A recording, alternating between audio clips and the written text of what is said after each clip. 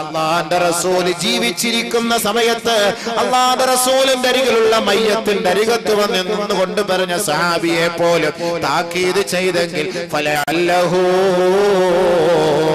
യതകല്ലമ ഫീമാ ലാ ഒരു പക്ഷേ അറിയാതെ അനാവശ്യമായി ഒരാളെ കുറിച്ച് വല്ലതും പറഞ്ഞു പോയ വ്യക്തിയാണ് ഈ കിടക്കുന്നതെങ്കിൽ ഒരുപക്ഷെ അള്ളാന്റെ അടുക്കൽ ഇദ്ദേഹത്തിന് ശിക്ഷയുണ്ടാകും. അതുകൊണ്ട് ഒരാൾ സ്വർഗത്തിലാണെന്ന് പറയാൻ നിനക്ക് അവകാശമില്ല. അത്രത്തോളം സൂക്ഷ്മത പുലർത്തുകയാണ് തങ്ങളെങ്കിൽ ആരെയും കളിയാക്കാൻ വിധിക്കപ്പെട്ടവരല്ല നമ്മൾ. ഒരൊറ്റ ചരടിലെ മക്കളാണ് ഒരു സമ്മയുടെ ഒരു ഉപ്പയുടെ മക്കളാണ് നമ്മൾ. ഏതൊരു ഇമാമിനെ പിൻപറ്റിക്കൊണ്ട് നമസ്കരിക്കുന്നുവോ ലോകത്ത് എത്രയെത്ര പ്രത്യയ ശാസ്ത്രങ്ങളുണ്ട്? ലോകത്ത് എത്ര എത്രയെത്ര മതകാര്യ വകുപ്പുകളുണ്ട്? ലോകത്ത് എത്രയെത്ര മതങ്ങളുണ്ട്? ലോകത്ത് എത്രയെത്ര മത നേതാക്കളുണ്ട് ലോകത്ത് എത്ര ബുദ്ധവിഹാരങ്ങളുണ്ട്? എത്ര ഗുരുദ്വാരകളുണ്ട്? എത്ര അമ്പലങ്ങളുണ്ട്? എത്ര ചർച്ചകളുണ്ട്? ഇവിടെയൊന്നും കാണാൻ കഴിയാത്ത ജനകീയ ജനാധിപത്യത്തിന്റെ വർണഭംഗിയാണ് പരിശുദ്ധമായ പള്ളികളിൽ മുഴങ്ങിക്കേൾക്കുന്നത് ഒരൊറ്റ ഇമാമിന്റെ തക്ബീറിന്റെ മണികളോടുകൂടി ആയിരങ്ങളും പതിനായിരങ്ങളും ഒരേപോലെ അടിഞ്ഞു നിൽക്കുകയും ഒരേപോലെ തോളോട് ചേർന്ന് നിൽക്കുകയും ഒരേപോലെ സുജോത് ചെയ്യുകയും ഒരേപോലെ അത്തഹയാത്തിലിരിക്കുകയും ചെയ്യുന്ന പാവനത്വം ലോകത്ത് ഒരൊറ്റ ആരാധനാലയങ്ങളിൽ കാണാൻ കഴിയില്ല.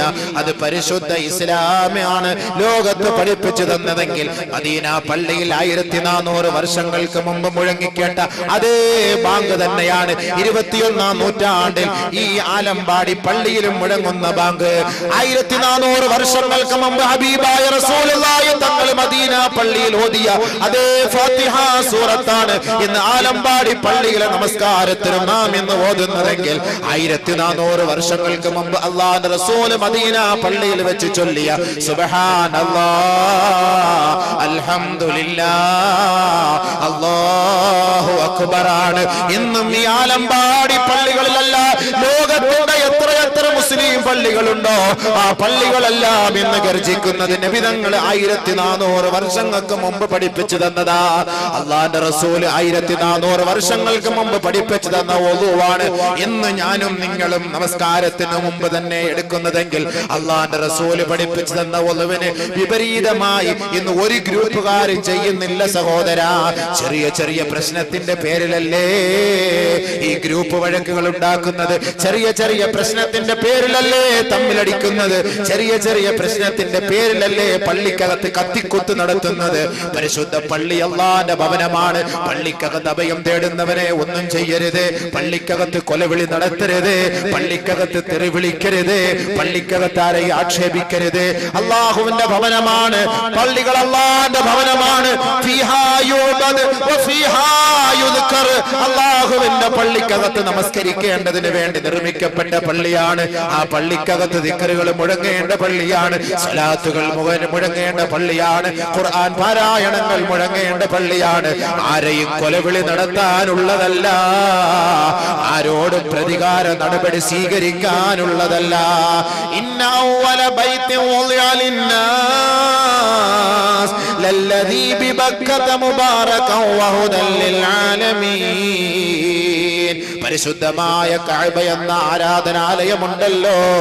ലോകത്ത് ആദ്യമായിട്ട് സുജൂദ് ചെയ്യാൻ വേണ്ടി അള്ളാഹു ലോകത്തിന്റെ മുന്നിൽ നിർമ്മിച്ചു കൊടുത്ത കഅബയാണല്ലോ ഇന്ന് ലക്ഷങ്ങൾ ലക്ഷങ്ങൾ ആ കഅബയെ വലയം ചെയ്തുകൊണ്ടിരിക്കുമ്പോ വലയം ചെയ്തുകൊണ്ടിരിക്കുമ്പോ ഫമൻ ദഖലഹു കാന ആമിനാ.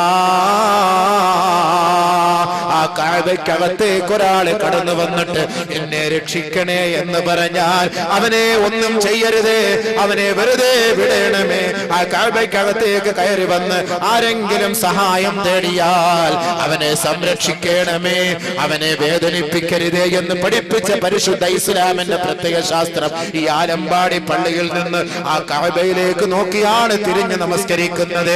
കൊല്ലം ജില്ലയിലെ പത്തനാപുരത്തെ പള്ളിയിൽ നിന്ന് നമസ്കരിച്ചാലും ആ കാഴ്ബയിലേക്ക് നോക്കിയാണ് നമസ്കരിക്കുന്നത്. ഫലസ്തീനിന്റെ മക്കളെ അവരും ഇന്ന് നമസ്കരിക്കുന്നത് കാബയിലേക്ക് നോക്കിക്കൊണ്ട. ഇറാഖിന്റെ മക്കളും കുവൈറ്റിന്റെ മക്കളും മൊറോക്കോയുടെ മക്കളും ന്യൂയോർക്കിലെ മക്കളും എന്ന് അള്ളായെ വിളിക്കണമെങ്കിൽ ആ കാബയിലേക്ക് നോക്കിക്കൊണ്ടാണ് നമസ്കരിക്കുന്നതെങ്കിൽ ആ കാബയ്ക്കകത്ത് അള്ളാഹു വെച്ച തീരുമാനം എന്തെന്നറിയുമോ ആ കാബയിലേക്ക് ആരെങ്കിലും വന്ന് അഭയം തേടിയാൽ അവനെ വേദനിപ്പിക്കരുതേ.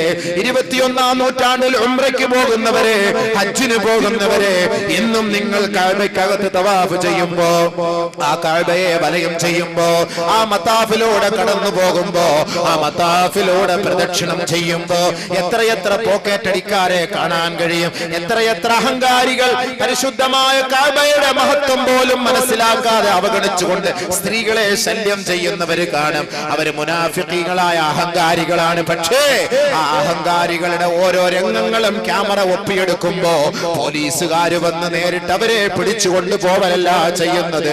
അഹങ്കാരികളോടൊപ്പം അവർ ആ കഴവയെ വലയം ചെയ്യുകയാ. ആ അഹങ്കാരി അറിയുന്നില്ല.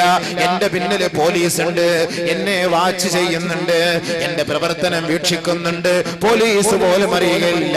ജനങ്ങളുടെ ഇടയിലേക്ക് ആ അഹങ്കാരിയെ ആ കള്ളനെ നെറികെട്ടവനെ മെല്ലെ മെല്ലെ തള്ളി തള്ളി ആ മത്താഫിൽ നിന്ന് പുറത്തേക്ക് കൊണ്ടുവന്നിട്ടാണ് അറസ്റ്റ് ചെയ്യുക. ആ കാഴ്ബയുടെ ഓരത്ത് വെച്ച് ഒരാളെ പോലും അറസ്റ്റ് ചെയ്യുകയില്ല. കാരണം അള്ളാന്റെ ഖുർആൻ പ്രഖ്യാപിക്കുകയാണ്. ആരൊരാളെ കാഴ്ബയുടെ മുറ്റത്തേക്ക് കടന്നു വന്നാൽ അവന് പരിപൂർണ സംരക്ഷണം നൽകണേ പരിപൂർണ സംരക്ഷണം നൽകണേ. ആരെയും കൊല്ലരുത് ആരെയും അടിക്കരുത് ആരെയും ആക്ഷേപിക്കരുത്. വേട്ടയാടപ്പെടുന്ന മൃഗങ്ങൾ വന്നാൽ പോലും ആ അവറ്റകളെ നിങ്ങൾ വേട്ടയാടരുതേ ഇത് പഠിപ്പിച്ച ഖുർആനാണ്. പള്ളിക്കകത്ത് അഹങ്കാരങ്ങളും ശബ്ദകോലാഹലങ്ങളും ഉയർത്തരുത്. ഇത് അള്ളാന്റെ വീടാണ് അള്ളാന്റെ വീടാണ്. അതിന് മഹത്വമുണ്ട് അതിന് മഹത്വമുണ്ട്. അത് ആരുടെയും പ്രതികാര നടപടി സ്വീകരിക്കാനുള്ള സ്ഥലമല്ല. പരിശുദ്ധ പ്രവാചകം പഠിപ്പിച്ചത് ആർക്കെങ്കിലും വിഷമങ്ങളും പ്രയാസങ്ങളും ഉണ്ടാകുമ്പോ പള്ളിയെ സമീപിക്കണമേ. പള്ളിക്കകത്ത് കയറി രണ്ടരക്കാലത്ത് നമസ്കരിക്കണമേ. നിങ്ങളുടെ ആവലാദികളും വേവലാദികളും ആ പള്ളിക്കകത്ത് വെച്ച് റബ്ബിനോട് പറയണമേ.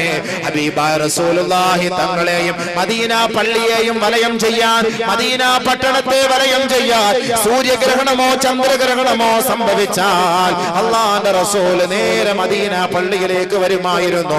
പള്ളിക്കകത്ത് കയറി സൂര്യഗ്രഹണത്തിന് പരിഹാരമുണ്ടാകുന്നത് വരെ ചന്ദ്രഗ്രഹണത്തിന് പരിഹാരമുണ്ടാകുന്നത് വരെ അള്ളാന്റെ റസൂൽ സുജോതിൽ കിടന്ന് റബ്ബിനോട് പൊട്ടിക്കരഞ്ഞ് സഹായം തേടിയെങ്കിൽ ലോകമേ ലോകമേ ലോകമേ സകലമാന പ്രശ്നത്തിന്റെ പരിഹാരമാണ് അള്ളാന്റെ പള്ളിയാണ്. ആ പള്ളിക്കകത്ത് ശബ്ദ കോലാഹലം ഉണ്ടാക്കരുതേ മലക്കുകൾ രേഖപ്പെടുത്തും. ആ മലക്കുകളുടെ ശാപം കിട്ടിയാൽ ദുനിയാവിലും ആഹ്ലത്തിൽ രക്ഷപ്പെടുകയില്ല.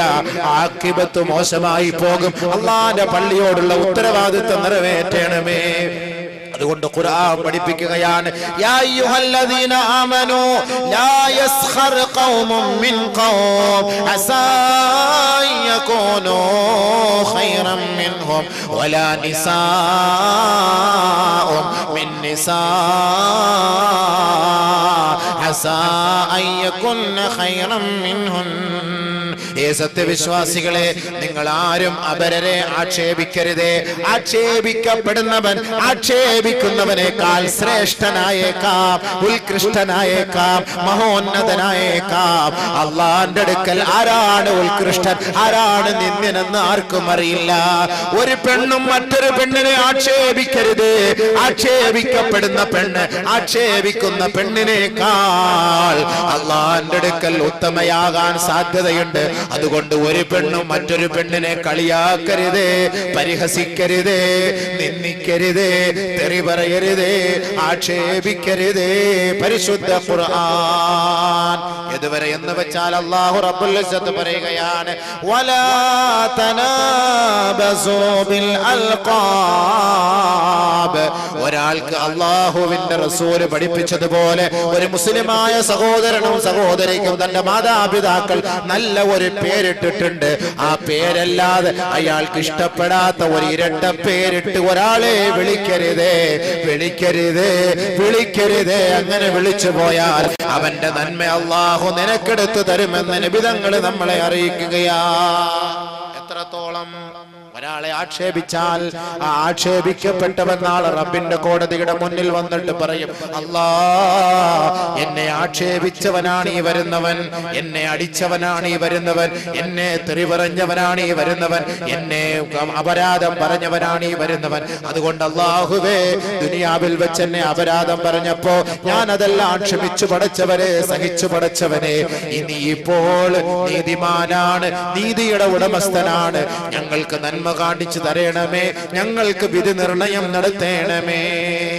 നാളെ റബ്ബിന്റെ കോടതിയുടെ മുന്നിൽ. ഏതൊരു സമുദായം ആക്ഷേപിക്കപ്പെടുന്നുവോ? ഏതൊരു സമുദായം നിന്ദിക്കപ്പെടുന്നുവോ? ഏതൊരു സമുദായം ഈ ദുനിയാവിൽ വെച്ച് മറ്റൊരാളാൽ മർദ്ദനത്തിനിരയാകുന്നുവോ?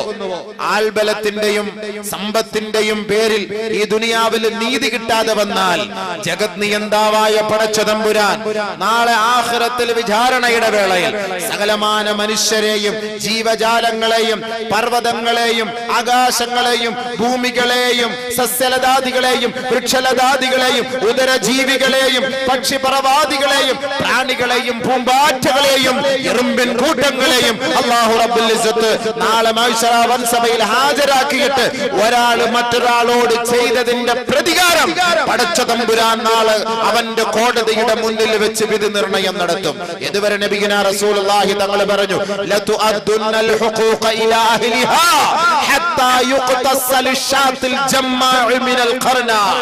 ഏതെങ്കിലും പാവപ്പെട്ട കൊമ്പില്ലാത്ത ഒരാടിന് കൊമ്പുള്ള ഒരാട് ഈ ദുനിയാവിൽ വെച്ച് കുത്തി പരിക്കേൽപ്പിച്ചപ്പോ കൊമ്പില്ലാത്ത ആടിന് തിരിച്ചു പ്രതികാരം ചെയ്യാൻ കഴിയാതെ അത് അവശയായി പോയെങ്കിൽ നാളെ വൻസഭയിൽ ഈ കൊമ്പില്ലാത്ത ആടിനെയും ഈ കുത്തിയ കൊമ്പുള്ള ആടിനെയും ഹാജരാക്കിയിട്ട് കൊമ്പില്ലാത്ത ആടിനോട് കൊമ്പുള്ള ആടിനെ കുത്തി പരിക്കേൽപ്പിക്കാൻ നാളെ വൻസഭയിൽ വെച്ച് പറയുമെന്ന് നബിയുന റസൂലുള്ളാഹി. അങ്ങനെ കൊമ്പില്ലാത്ത ആടിന് വേണ്ടി നീതി നിർണയം നടത്തുകയും നീതി വാങ്ങുകയും നീതി വാങ്ങിക്കൊടുക്കുകയും ചെയ്യുന്ന ഒരു സാഹചര്യമാണ് മത്സര വൻസഭ അതുകൊണ്ട് സുഹൃത്തുക്കളെ സഹോദരന്മാരെ സഹോദരിമാരെ ഒരുപാട് അമലുകളുമായി നാളെ ആഹ്റത്തിലേക്ക് പോകുമ്പോ ആരും ആരെയും രക്ഷപ്പെടുത്താൻ കാണുകയില്ല എന്നിവിടെ കൊലവിളി നടത്തുന്നവനും അതിൽ ആഹ്വാനം നടത്തുന്നവനും ഗ്രൂപ്പിന്റെ നേതാക്കന്മാരും രാഷ്ട്രീയത്തിന്റെ നേതാക്കന്മാരും നമുക്ക് ചുക്കാൻ പിടിക്കുന്നവനും. എത്രത്തോളം എന്ന് വെച്ചാൽ നമ്മുടെ സാന്ത്വനമായ തണലായ ഇണയായ തുണയായ നമ്മുടെ താങ്ങും തണലുമായ നമ്മുടെ എല്ലാം എല്ലാമായ നമ്മുടെ രാപ്പനി മണത്തറിയുന്ന നമുക്ക് മക്കളെ സമ്പാദിച്ചു തരുന്ന നമ്മുടെ വസ്ത്രം അലക്കി തരുന്ന നമുക്ക് ഭക്ഷണം പാചകം ചെയ്തു തരുന്ന നമ്മുടെ വസ്ത്രം ഇസ്ത്രിയിട്ട് തരുന്ന നമ്മുടെ എല്ലാമായ നമ്മുടെ പ്രിയതമയായ നമ്മുടെ പ്രിയപ്പെട്ട ഭാര്യമാരെ പോലും നാളെ മാഴ്സറ വൻസഭയിൽ ഓർക്കാൻ കഴിയില്ല. നബീന റസൂലുള്ളാഹി തങ്ങൾ പഠിപ്പിച്ചിരിക്കുകയാണ് ഫലാ യദ്കുറു അഹദുൻ അഹദാ. മഹദിയായ ആയിഷ ബി റളിയല്ലാഹു അൻഹാ നബീന റസൂലുള്ളാഹി തങ്ങളോട് ചോദിച്ചില്ലേ നബിയേ ഫഹൽ തദ്കുറൂന അഹ്ലീകും ഇന്ന യൗമിൽ ഖിയാമ. ഖിയാമത്ത് നാളിൽ ഞങ്ങളെ ഓർക്കാൻ അങ്ങേക്ക് സമയമുണ്ടാകുമോ നബിയേ? ഞങ്ങൾ അവിടുത്തെ പത്നിമാരാണല്ലോ നമ്മൾ അവിടുത്തെ പ്രിയതമയാണല്ലോ. അവിടുത്തെ എല്ലാം എല്ലാമാണല്ലോ അവിടത്തേക്ക് വേണ്ടി തന്നവരാണല്ലോ അവിടത്തേക്ക് വേണ്ടി ഹിദമത്ത് ചെയ്തവരാണല്ലോ. ഞങ്ങളെ കുറിച്ച് നാളെ ഓർക്കാൻ കഴിയുമോ എന്ന് മഹതിയായ ആയിഷ റളിയല്ലാഹു തആല അൻഹ നബീന റസൂലുള്ളാഹി തങ്ങളോട് ചോദിച്ചപ്പോൾ ആയിഷ ആയിഷ നാളെ ആഖിറത്തിൽ നാളെ മൂന്ന് സന്ദർഭങ്ങളിൽ അമ്മ ഇൻദ സലാസതി മവാതിന ഫലാ യദ്കുറു അഹദുൻ അഹദ.